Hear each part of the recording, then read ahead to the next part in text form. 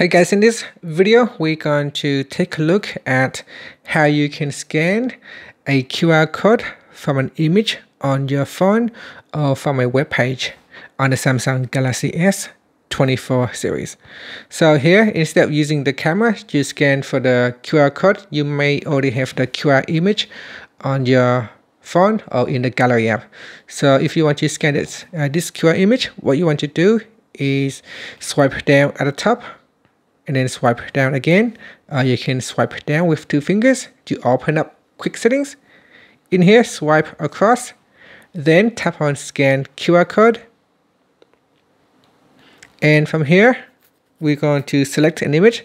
So usually um, it open up the QR code scanner. So we open it, then tap on scan QR code that will usually open up this window here, this app here.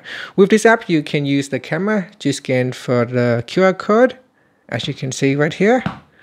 Or you can scan from an image, so you tap on this image button. Then we select an image on your device. So in here, I can select the image, then tap on done. And then I can open link. So that is the QR code that goes to my channel. Okay, so I'm going to go down again and this time, this time let's see how you can scan for the image on a website. So here I've got the website with this image right here. This is from my website. So what you want to do is touch and hold. So go to the website that has the QR code and then you touch and hold on that QR code. Next, tap on the download image button.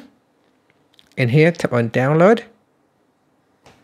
All right, once you have downloaded, we go back into that QR code app. So here we open up scan QR code and then again tap on the image icon. From here tap on recent and then select the, the QR code image that you have just downloaded and then tap on done. And then from here you can tap on open link.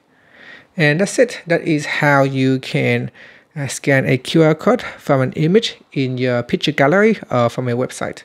Thank you for watching this video. Please like and subscribe to my channel for more videos.